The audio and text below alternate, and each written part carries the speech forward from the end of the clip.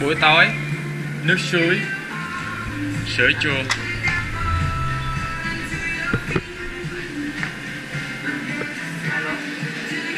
Không cái này của người ta đó em chứ không phải của anh.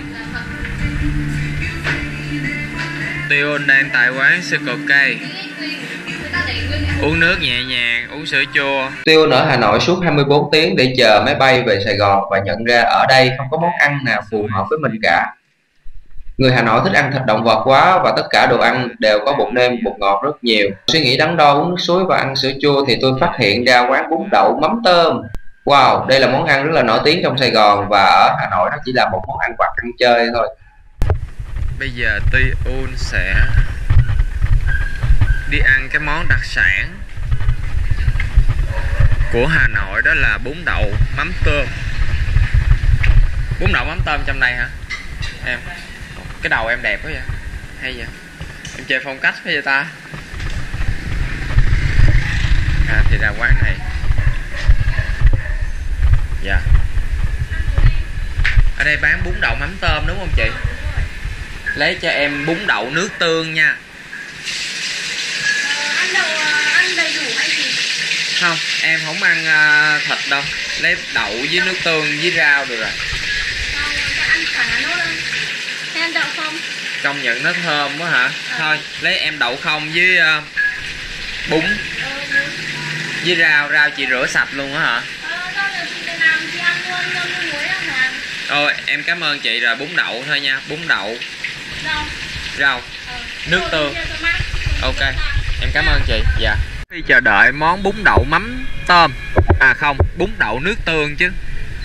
Thì tôi đi tham quan tôi phát hiện là cây xanh ở hà nội đang bị chặt đốn phá. Đây, cây xanh bị chặt bỏ hết. Hèn chi cái thành phố này càng ngày nó càng nóng.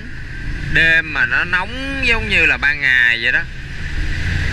Đường thì ô nhiễm, bụi bặm, dơ bẩn quá. Trời đất ơi hà nội xinh đẹp xưa kia bây giờ không còn nữa sao? Tàn phá cây xanh rác thải ô nhiễm. Tiêu rồi thủ đô ơi.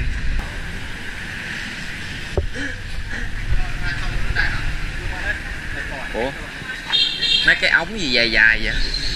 Mấy điếu của bạn uh, 16 rồi cảm ơn nha. Ủa? Cái này là sao có rớt cục kẹo vô đây nè? Ờ, đúng cái kẹo đấy để khi mà bạn ăn xong rồi mình trắng miệng đấy. Riêng cái đâu vậy hả? Rồi cảm ơn nha. Ở trong Việt Nam cũng thế à dạ không. Thế là miền Bắc đấy. Miền bắc lịch sự quá hả? Không ngờ đậu hũ Hà Nội ngon thật luôn các bạn ơi.